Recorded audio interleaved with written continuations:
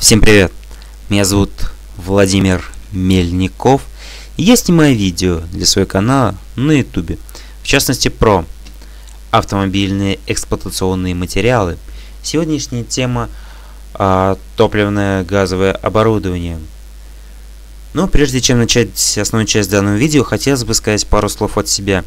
То, что данное видео является а, очень актуальным, ведь все мы прекрасно знаем то, что газовое оборудование сейчас активно устанавливают э, на автомобиле. И вот э, краткие сведения о газовом оборудовании, так сказать, азы, основы. Требования к качеству газового топлива. Так же, как и к бензину, дизелю, так и к газу есть свои соответствующие а, требования. Основные требования, предъявляемые к качеству газового топлива, это хорошая смешиваемость с воздухом для образования однородной горючей смеси. Да, это так, то что э, газ и воздух очень хорошо между собой смешиваются, в отличие от э, дизеля или бензина а высокая калорийность образуемого горючей смеси. А дальше отсутствие детонационной при сгорании в цилиндрах ДВС. То есть э, такое, скажем так, волна, которая образуется в момент э, зажигания свечи, э, она присутствует, но не такая сильная, проще говоря. Далее это минимальное содержание смолистых веществ в механических э, примесей. То есть, э, если бензин и дизель, мы знаем то, что они в какой-то мере загрязняют двигатель, а бензин так вообще чуть ли не, скажем так, засирает, вот, то в отличие от них э, газ будет в этом плане почище. Вот, то есть нагорообразования там минимальные. Следующее это минимальное содержание смолистых веществ, вызывающие коррозию поверхностей деталей, окисление и разжижение масла и картера ДВС. То есть, по сути, это пред, продолжение предыдущего пункта.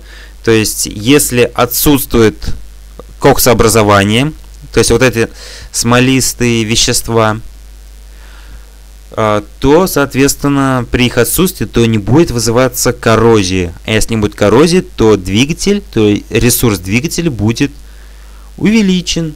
И все. А, в отличие от бензина и дизеля.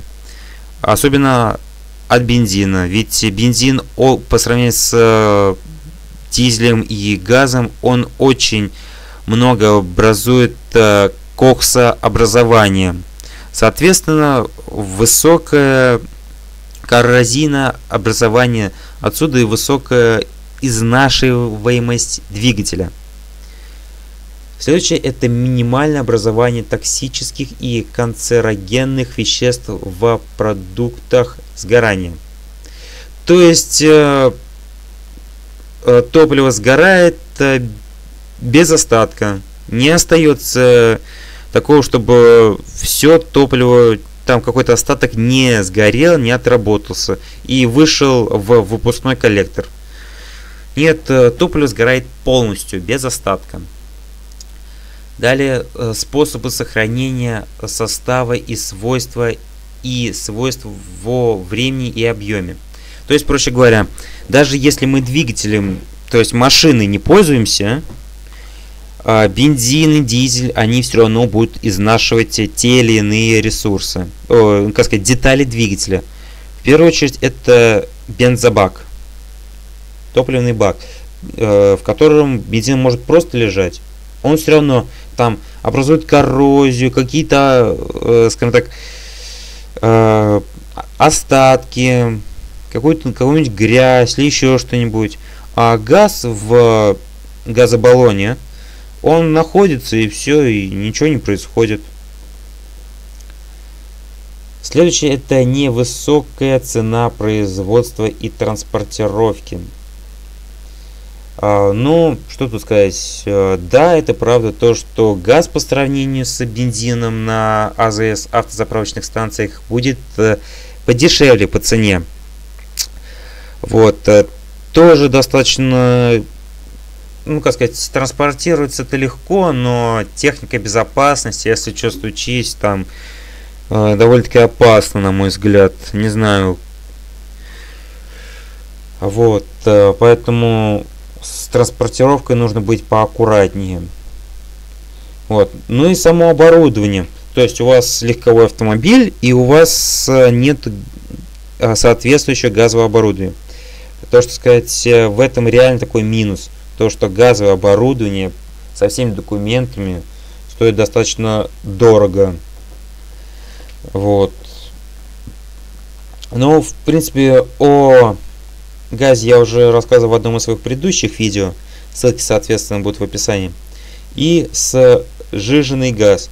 То есть есть два вида газа, скажем так, в газообразном состоянии и в жидкостном. В чем они отличаются? То, что один газ, другую жидкость, это понятно. Но вот э, технология, в чем заключается сжиженного газа. То есть берут газ и сжимают э, атомы, молекулы до такой степени, а, то, что э, и в итоге он переходит из газообразного состояния в жидкообразное.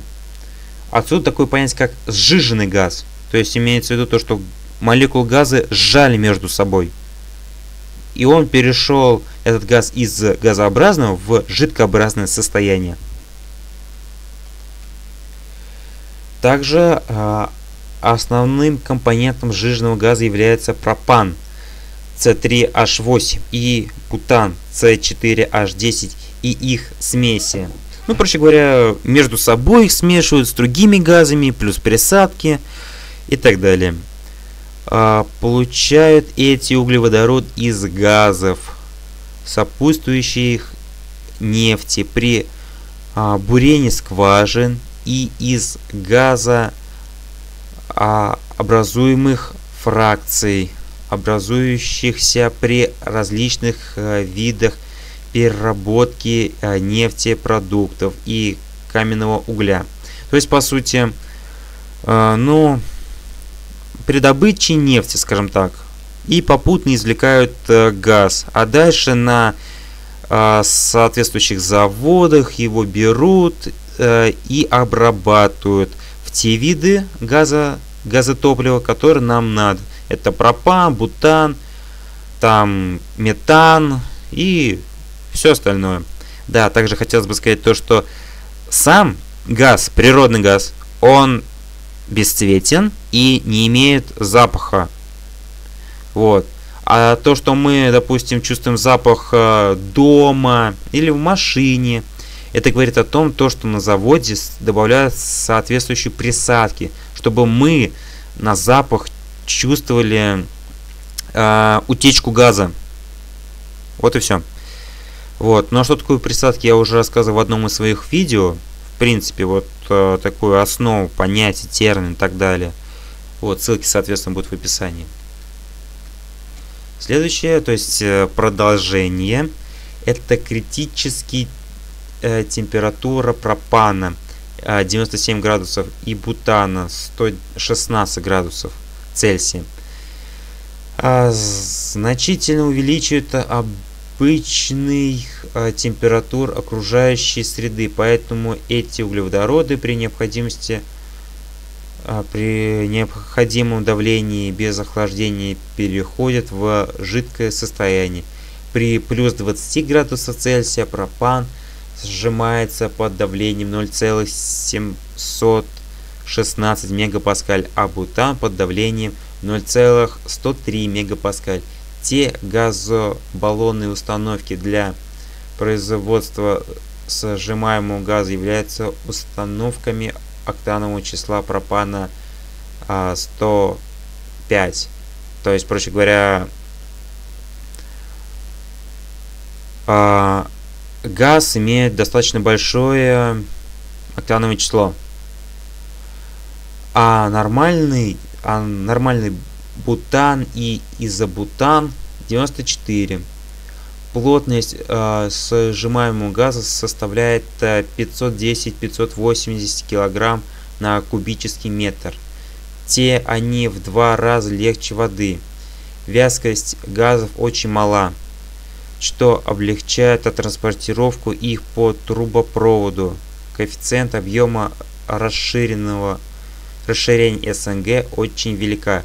Те при увеличенной нагруженности температуре они значительно расширяются, поэтому при заполнении резервуаров необходимо оставлять свободное производство примерно 15% от емкости. В нормальном состоянии СНГ не, э, не ядовиты и не имеют запахов. То есть, по сути, газ он не ядовит, но если надышаться, голова будет э, в лучшем случае кружиться, а в худшем э, скажем так, можно потерять сознание. Но это, как вы поняли, берется не с потолка, а методом проб и ошибок, э, особенно в лаборатории. То есть такие вопросы изучают в лаборатории. Дальше идет э, схема газобаллонной установки на автомобиль УАЗ-2362. Ну, Проще говоря, данная схема является самой простейшей, самой наглядной. А, итак, что мы видим? Это первый газовый баллон. Второе это мультиклапан. Третье заправочное а, устройство. Четвер... Четвертое трубка от заправочного а, устройства к мультиклапану. Пятое. Шланг отвода охлаждающей жидкости. Шестое. А, редуктор. Седьмое. Дополнительный подго... а, подогреватель. Восьмой. Фильтр а, газовый. Девятое. Шланг забора вакуума из рас... ресивера. Десятое. А, шланги газопровода. Одиннадцатое. Шланги провода охлаждающей жидкости. Двенадцатое газовая рампа э, с электромагнитным клапаном и штуцер, штуцерами. 13 шланг отвода газовых испарений. 14 трубка от мультиклапана к редуктору. Итак, э, сжиженный газ. По ГОСТу 2757-87 газы э, углеводорода сожжения для автотранспорта установлены следующие, следующие а, марки СНГ, ПА, пропан, авто для применения в а, зимний период при температуре от минуса 20 градусов Цельсия до минуса 30 градусов Цельсия. ПБА – пропано-бутановые автомобили для применения при температуре э, менее минуса 20 градусов. И следующая подтемка это сжатые углеводороды газа. А, природно-топливный а, сжатый газ получают а, из горючего природного газа, транспортируя по магистральным газопроводам или или городским газовым сетям, компрессионным и удаленным применением по технологии не допустим не допускающий изменения а, компонентов состава. А природный газ состоит, состоит из метана, CH4, оксида углерода, СО и водорода H2. В зависимости от места рождения содержания метана в газе может быть в пределах 40-82%. Его критическая температура составляет минус 82 градуса Цельсия. А, поэтому при нормальных температурах, даже при высоком давлении, эти газы не могут быть сжиженными. Для этого необходимо меньшей температуры октанового числа а, метана 110. А, ну, подводя итоги, хотелось бы сказать то, что также а, газ, в отличие от бензина и дизеля, имеет низкую вязкость. То есть, что это имеется в виду? То есть, от э, баллона до двигателя по трубопроводу он будет двигаться гораздо быстрее, нежели жидкость. А жидкость это у нас в данном случае это бензин и дизель. Вот, э, ну что хотелось бы сказать, то что данное видео является, скажем так, азами, такими основными, основной информацией, которые надо знать и располагать. А, вот, э, надеюсь, это кому-нибудь помогло. Пишите комментарии. А, не забывайте подписываться на мой канал, писать комментарии, ставьте пальцы вверх. А, также обращайте внимание на подсказки. Добавляйте ко мне в различные соцсети. Я лично этому буду очень рад. А,